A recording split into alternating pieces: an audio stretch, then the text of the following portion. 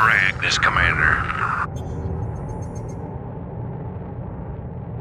Shields online. I vote we frag this, Commander.